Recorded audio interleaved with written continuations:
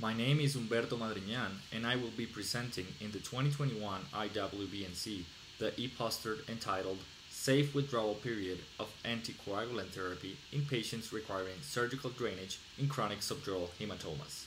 Chronic subdural hematoma is a frequent pathology in the neurosurgical departments. More frequently now, neurosurgeons face the decision to treat a chronic subdural hematoma in patients actively anticoagulated. Therefore, evaluation of the treatment risks involve surgical rebleeding rates as well as cardioembolic and thromboembolic risks. There is a progressive increase in the use of anticoagulation therapy. They are related to an increased risk of rebleeding following treatment in chronic subdural hematomas. For example, vitamin K antagonists calculated risk is 43.5 times higher for developing a chronic subdural hematoma. According to a survey during the 2010 AANS meeting, 65% of respondents face dilemmas related to restarting anticoagulation in postoperative patients at least once a week or once a month.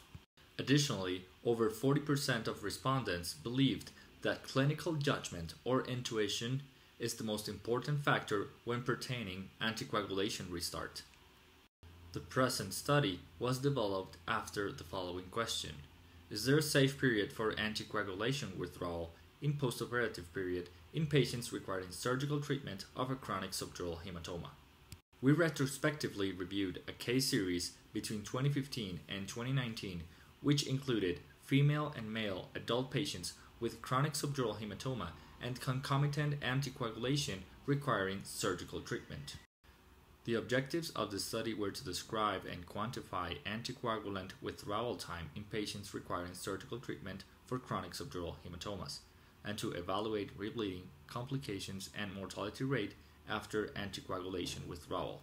A total of 31 patients were included in the analysis. Of them, 68% were male. The median age at diagnosis was 73 years.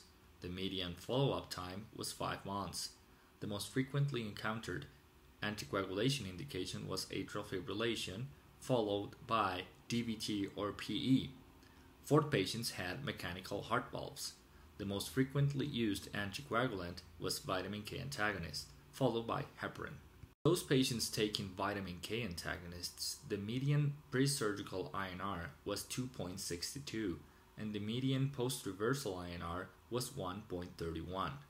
Active anticoagulation reversal was performed in 20 patients. In those patients taking vitamin K antagonists, active anticoagulation reversal was performed in 15 patients. The most frequently used anticoagulation reversal medication was prothrombin complex concentrate, followed by fresh frozen plasma.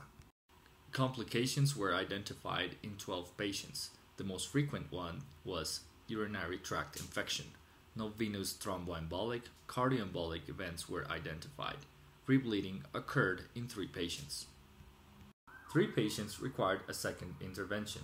The first patient presented rebleeding 70 days after the first surgery, which is the example on the CT scan below.